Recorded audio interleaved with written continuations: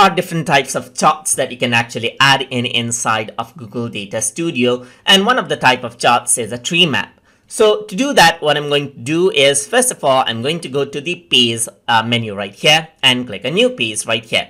So you can see that I have a blank page. And this is where I'm going to add in the tree map. So to add in a tree map, I'm going to go to add a chart right here and I'm going to go around and scroll down and here you can see tree map is an option. Once you go around and click and click somewhere else right here, then this is what you have. You can see that uh, different consoles is here and it is based on the record count right here.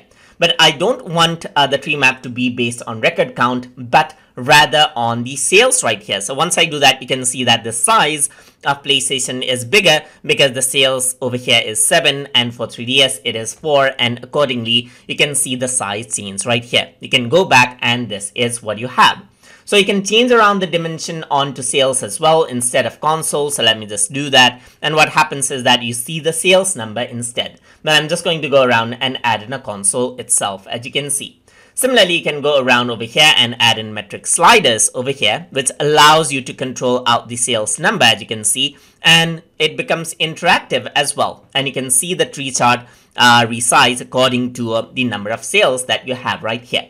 So that is how you can work around with a tree map uh, chart inside of Google Data Studio.